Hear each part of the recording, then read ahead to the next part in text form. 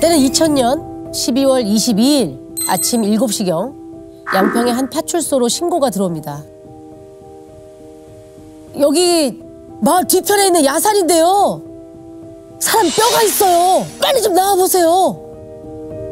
마을 뒤편 야산인데 사람 뼈가 발견됐다고요? 그러면 비집고 나왔다는 그 팔?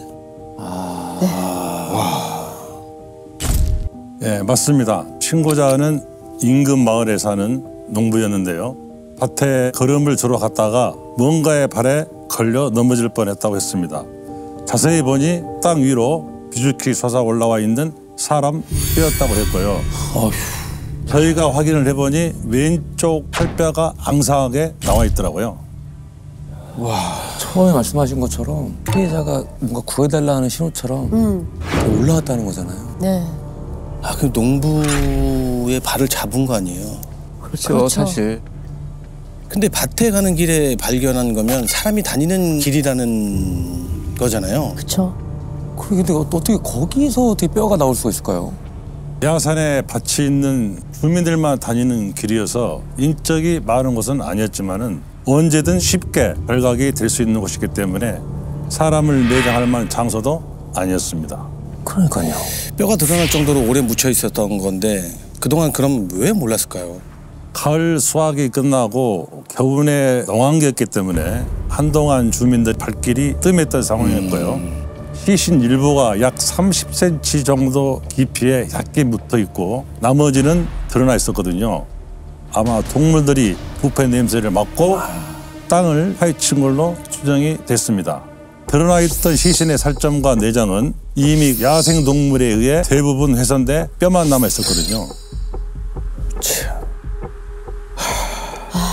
안타까운 건 야생 동물한테 먹힌 게 예. 끔찍하네요. 끔찍해. 혹시 그러면 실족사나 스스로 목숨을 끊었을 가능성은 없는 건가요? 만약 사고사나 자살이라면 시신이 노출돼 있을 테고 그럼 주민들이 지나다니다가 금세 발견을 해 신고했을 겁니다. 그렇겠네요. 그럼 누가 안매장을 했다는 건데 30cm면 급하게 묻은 느낌이 좀 들어요. 게다가 이제 사람이 다니는 길에다가 묻은 것도 좀 이상하긴 하거든요.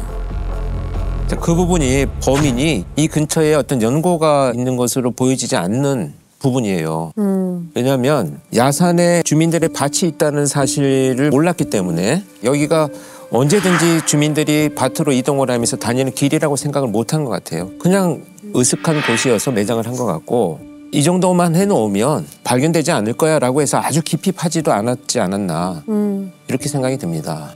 그러면 동네 사람이 범인이 아니다? 피해자는 그럼 누굴까요? 그러니까 어쩌다가 그런 곳에다가 버려지고 발견이 됐을지 현장에 피해자의 신원을 확인할 만한 거는 없었나요?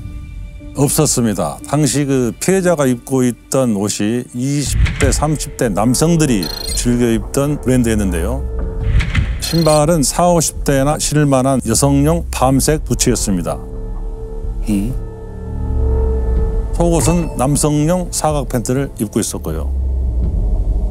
이 같이 뭔가 안 맞죠? 한 사람의 것으로 보이지 않거든요. 음. 근데 부츠를 벗겨보니까 빨간색 매니큐어가 발톱에 칠해져 있는 겁니다. 야, 뭐죠? 옷이나 속옷은 남자 걸 입었는데 신발이랑 발톱만 보면 여자잖아요, 지금. 아니면 약간 좀 이제 좀 성향이 취향 적으로 그렇게 또 입으시는 네. 아니면은 이렇게 만 들었을 때는 남자인지 혹은 피해자가 여성인지를 지금 정확하게 가늠이 안 되거든요. 음. 그때까지는 몰랐죠. 전신에 진흙이 말라붙어 있어서 하반신을 확인하는 데까지 시간이 좀 걸렸는데 흙을 다 털어내고 나니 여성이었습니다. 그래서 바로 양평과 그 인근 지역에 가출, 실종 신고된 여성들의 명단을 요청했습니다.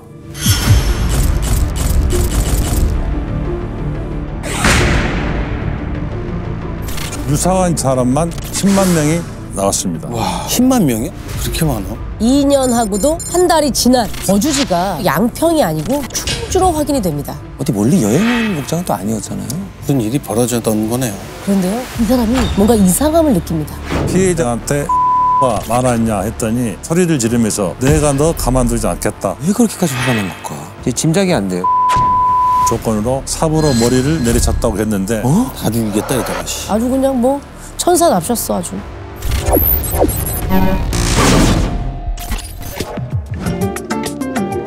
즐겨봐 이 채널.